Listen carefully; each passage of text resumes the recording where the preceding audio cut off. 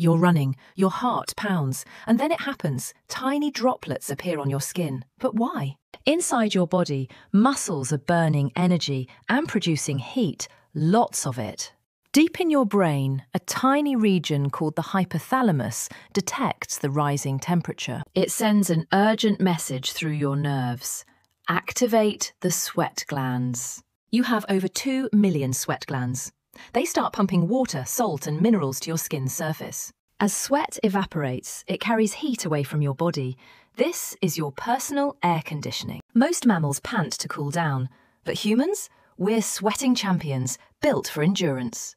Our ancestors could chase prey for hours under the hot sun, outlasting animals that overheated. So next time you're dripping wet, remember, your body is performing an incredible feat of engineering. Sweat isn't gross, it's your superpower.